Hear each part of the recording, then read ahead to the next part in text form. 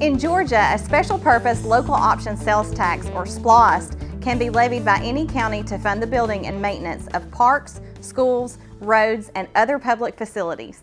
A SPLOST lasts for a maximum of six years. At that time, if the funds are still needed, it must be voted upon again. Today, I'm joined by County Manager Jamie McCord and Finance Director Susie Gass.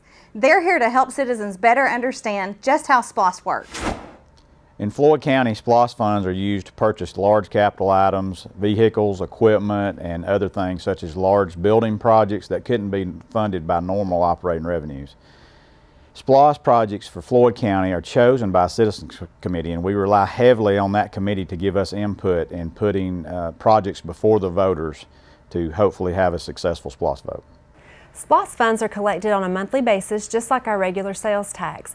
We don't receive all the money up front, so therefore projects and purchases have to be timed so that the money is available uh, to pay for those when the items are due. If a SPLOST undercollects, the county is responsible for making up the difference to complete a project or make a purchase. This actually happened with our 2006 SPLOST and the Armuchee Connector project.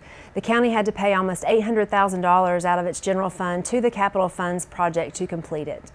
It is possible that the state would withhold SPLOST funds in a, certain situation. Uh, if an audit results in an overpayment by a taxpayer, then the state would withhold those funds in distribution until the repayment is, is made whole. This did happen in 2015. A total of 1.3 million was refunded out of the SPLOST collections back to a taxpayer for overpayment. And this resulted in a reduction in distribution to Floyd County, the City of Rome, and Cave Spring. Since the 1996 SPLOST, the total SPLOST investment in Floyd County alone has been $287.7 million.